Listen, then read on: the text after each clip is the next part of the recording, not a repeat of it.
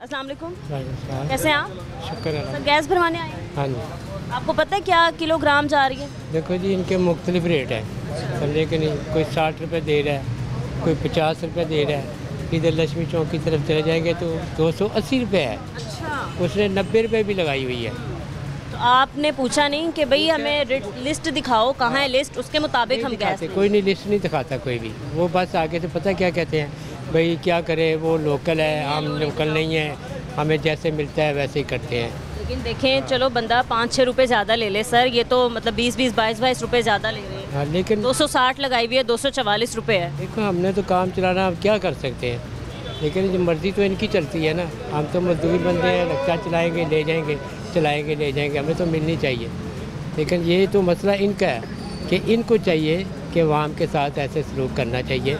कि जो महँगी कर दिया एलपीजी एक बार फिर से।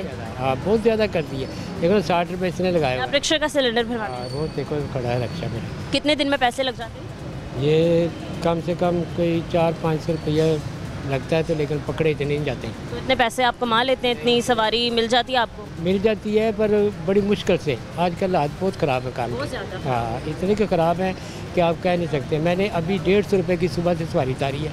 बस? हाँ छः बजे से लेके अभी तो तक। कितने का आप सिलेंडर भरवाएँगे? अभी मैं डेढ़ सौ वही भी लूँगा। हाँ, जो कमाया वही लगा लेंगे। फिर क्या लेके जाएँगे? क्या खाने पीने के लिए लेके जाएँगे? अल्लाह माले के आगे फिर चलेंगे। कुछ ना कुछ अल्लाह देगा ही ना फिर।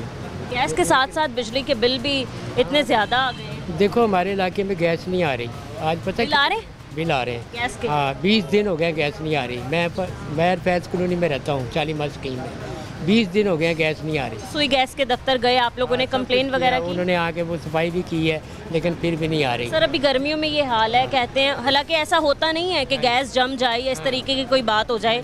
बहाना यही बनाते हैं कि गैस जम गई है पाइप में हम थोड़ा प्रेशर डालेंगे प्रेशर मारेंगे हाँ तो हो जाएगा। लेकिन गर्मियों में ये हाल है सर्दियों में क्या करेंगे हाँ, लेकिन कोई नहीं आ रहा। वो बिल जो है ना हमें पता कितना का आया बाईस हज़ार रुपये का बिल है। चीज़ का? गैस का। बाईस हाँ। एक गैस आती नहीं है बिल बाईस हज़ार आ गया। हाँ बिल बाईस हज़ार। खाली पाइपों में। हाँ जी ऐसे ही हो रहा है। अब बत्ती का बिल है उसने वो भेजा है अपना चौदह हज़ार रुपये का। तो एक बल्ब जलता है एक पंखा चलता है टीवी शीवी भी नहीं चलता। तो इतने पैसे कहाँ से लाएँगे आप? क्या करें हम अब नक्शा चला रिक्शा चलाने वाला आदमी इतने पैसे तो नहीं ला सकता कहीं से भी। कैसे बिल देगा? कोई समझ में नहीं आ रहा कोई भी। वो कहते हैं जी टैक्सी इतने लगा दिए हैं कि क्या करें? वो बिल के ऊपर देखते हैं ना आप कितने टैक्स लगे हुए हैं। तो आदमी टैक्सों को सोच सोच के बूढ़ा हो जाता है कि क्या करेगा आदमी। रिलीफ कहा था आप देंगे दो महीनों के लिए बिजली के बिलों में? मिला आपको? हाँ हाँ नहीं कोई नहीं मिला। नहीं मिला। वहाँ कुछ नहीं मिला। तो क्या करने आई है मरियम साहिबा पे बस वो कह रही थी कि मैंने लाहौर को साफ़ करना है साफ़ सुथरा करना है ये देख लें साफ़ सुथरा। उधर कभी जाएँ आप? मेहर फैज़ कॉलोनी में जाके देखें इधर अडरान का डेरा बना हुआ है और साथ में प्लाट है। उसके साथ देखें कितना गंद पड़ा हुआ है। रोड के ऊपर आया हुआ है। सफ़ाई वाले नहीं आते? ना आते हैं। वो बस ऊपर ऊपर से उठा के ले जाते हैं। बाकी फिर उधर ही पड़ा रहता है। सर कभी लोगों ने लोगों को इकट्ठा करके आवाज़ उठाने की कोशिश मैंने दुकानदारों को भी कहा है। मैंने कहा यार कंप्लेंट करो जिसका ये प्लाट है उसके ऊपर केस करो। तो वो रहता है यानी कि अपना क्या नाम है उसका शालीमार के साथ ही वो लगता है सलामतपुरा। वहाँ पे रहता है वो।